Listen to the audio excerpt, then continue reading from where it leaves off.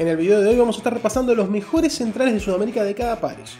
Yo sé que van a quedar muchos afuera, pero por eso está la cajita de comentario para que me dejes tu opinión. Antes que nada te voy a pedir que te suscribas. Es fácil, tenés que apretar el botón rojo que está abajo y quedar suscrito para ver todos los videos que este canal sube. Este video viene anexado a una serie de videos que venimos haciendo hace algunos meses. Empezamos con el mejor portero sudamericano y con el mejor lateral derecho sudamericano. Así que después de mirar este te voy a dejar la viñetita ahí arriba para que lo vayas a mirar. Así que nada, comencemos. Bienvenidos a Así se habla Sports. Daniel Pasarela, nacido en Chacabuco, provincia de Buenos Aires. Se desempeñó como defensor central. Debutó en el Club Atlético River Plate. Allí jugó hasta 1981, donde logró ganar tres campeonatos metropolitanos tres campeonatos nacionales y un campeonato de primera división. En este periodo, en el conjunto millonario disputó 259 partidos, habiendo marcado en 94 oportunidades. En la temporada 1982-1983 es transferido a la Fiorentina de Italia, por un valor de 2,5 millones de dólares. Allí jugó hasta 1986. Ese mismo año es fichado por el Inter de Milán, siendo al día de hoy, por muchos, uno de los mejores jugadores que haya jugado en el club. En 1989 vuelve a River para jugar 32 encuentros y retirarse. Su pasaje por la selección está lleno de gloria. Su primer acercamiento con la misma se da en 1975, cuando es citado por César Luis Menotti para disputar el torneo Esperanza de Toulon con un seleccionado sub-23. Argentina logra ganar este torneo con Pasarela como capitán. En 1976 debuta con el seleccionado mayor y al siguiente año se convierte en capitán del mismo. La Copa Mundial de Argentina se disputa en 1978 y Daniel Pasarela fue pilar fundamental del plantel. Fue el capitán disputando los 7 encuentros del Mundial, convirtiendo un gol y fue el encargado de alzar la primera Copa del Mundo para Argentina. El Kaiser, como se lo apoda, también disputó la Copa Mundial de España en 1982, donde el seleccionado argentino cae en la segunda fase del torneo habiendo perdido ambos partidos. Para el próximo Mundial, Pasarela disputa todas las eliminatorias y fue seleccionado para ir al Mundial de México. Pero estando allá, tuvo una infección intestinal que lo dejó fuera de los primeros encuentros. Cuando se recuperó de la misma, sufrió un desgarro que lo terminó dejando afuera sin disputar ningún partido. Daniel Pasarela es el único jugador argentino que ha estado en los dos títulos mundiales obtenidos por Argentina. FIFA lo incluyó en la lista de los 100 mejores jugadores de la historia en 2004. Lucimar da Silva Ferreira, más conocido como Lucio, se desempeñó como defensor central desde 1997 hasta 2019 Debutó profesionalmente en el Inter de Porto Alegre.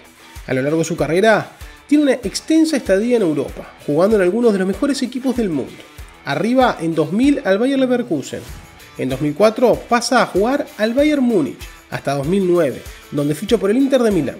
La temporada 2012-2013 la juega para la Juventus de Italia y al año siguiente vuelve a Brasil. En Europa conquistó tres Bundesligas, un Scudetto, tres Copas de Alemania, dos Copas Italia, dos Copas de la Liga Alemana, dos Supercopas Italianas, además de coronarse con el Inter de Milán como campeón de la UEFA Champions League y del Mundial de Clubes de la FIFA. Con la selección de Brasil debutó en el año 2000, habiendo disputado 105 partidos. Disputó tres mundiales, consagrándose campeón del mundo en Japón y Corea 2002. También logró alzar dos veces la Copa Confederaciones con la Canariña. En 2010 integró el FIFA Pro World 11, que elige a los mejor oncena de la temporada. También integró el once ideal de la Bundesliga en 6 oportunidades. José Nasasi es el futbolista más laureado de la historia de la selección uruguaya. Fue jugador de la misma desde 1923 hasta 1936, habiendo disputado 41 encuentros. Con el combinado celeste obtuvo los Juegos Olímpicos de 1924 y 1928 además de la primera Copa Mundial de la FIFA en 1930. También se coronó campeón de las Copas Américas de 1923, 24, 26 y 35. Fue el capitán en todas sus conquistas. Defendió a Bellavista en Uruguay y al Club Nacional de Fútbol, logrando un campeonato intermedio con el primero y dos torneos de primera división con los Salvos. En 2006 fue nombrado en la posición 27 de los mejores jugadores de Sudamérica por el Instituto Internacional de Historia y Estadística del Fútbol. Elías Ricardo Figueroa, según la mayoría de los especialistas, es el mejor jugador chileno de la historia.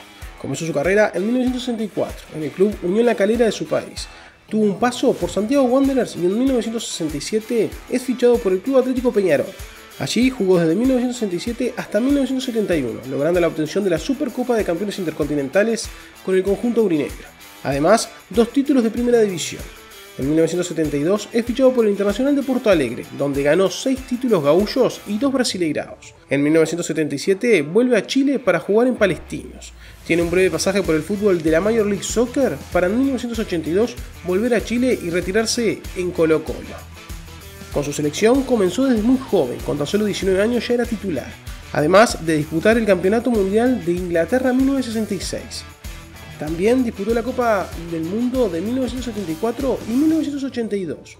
Asimismo, llegó a la final de la Copa América de 1979, que hasta ese momento era lo más cerca que había estado Chile de obtener un título. A lo largo de su carrera ha cosechado diferentes distinciones individuales. Mejor jugador sudamericano en las temporadas 72, 73 y 76.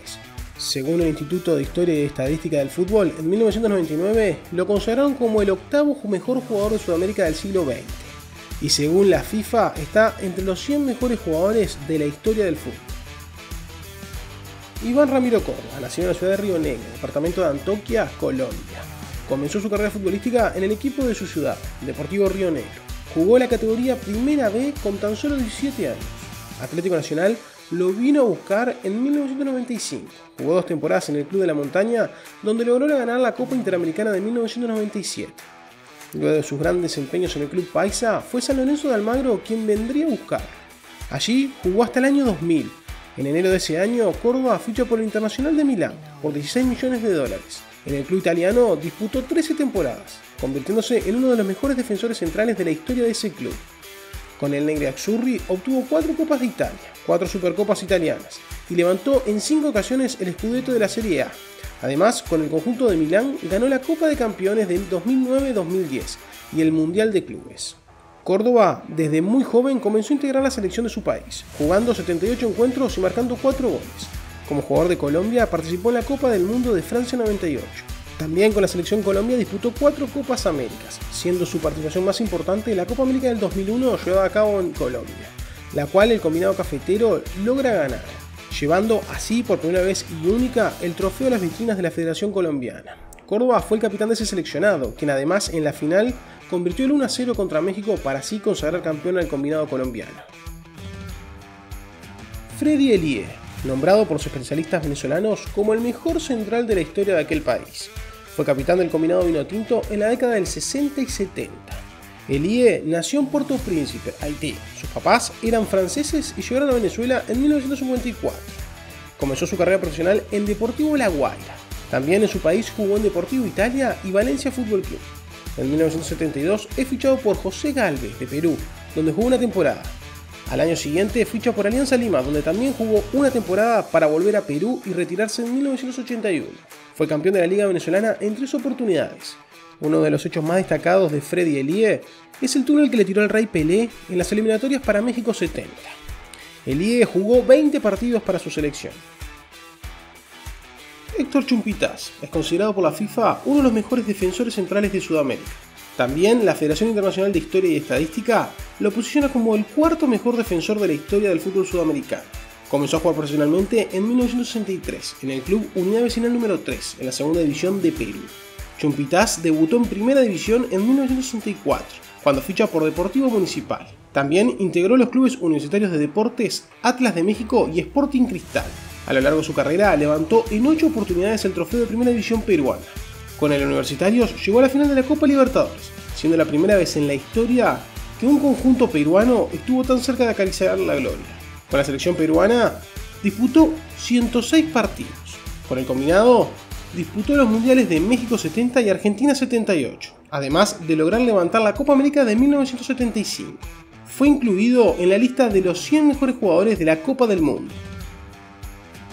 Iván Hurtado comenzó su carrera futbolística en el club Emelec en 1992, club en el cual se consagró campeón de la liga en dos oportunidades. Tiene una extensa carrera en diferentes lugares del planeta, como es el caso del fútbol mexicano, en Celaya, Tigres, La Piedad y Pachuca. También lo hizo en Europa, en el Real Murcia.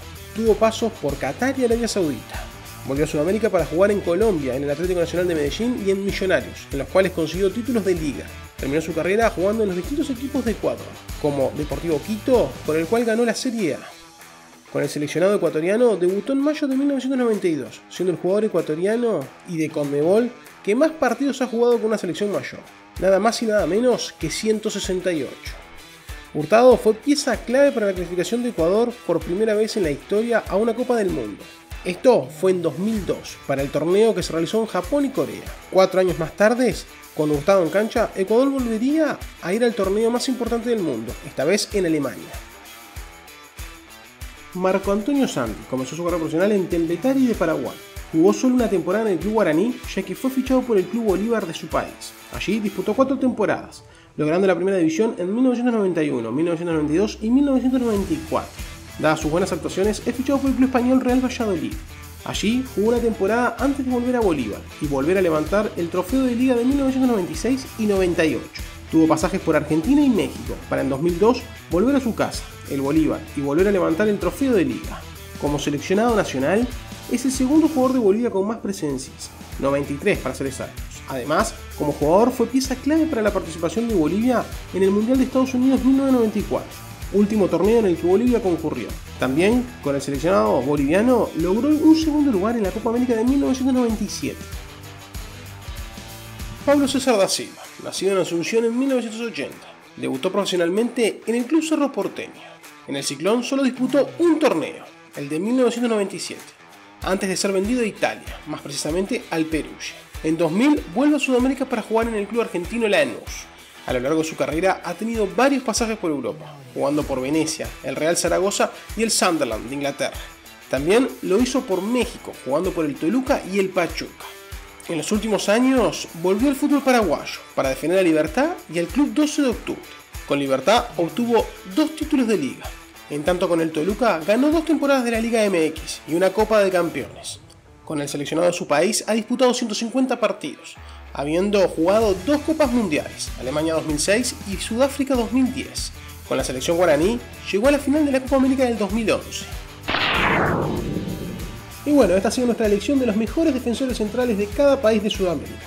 Espero que te haya gustado y como te digo siempre, si te gustó te voy a pedir que me dejes un like, que comentes, que compartas y que te suscribas para que el canal siga creciendo. Así que nada, nos vemos la próxima. ¡Chao!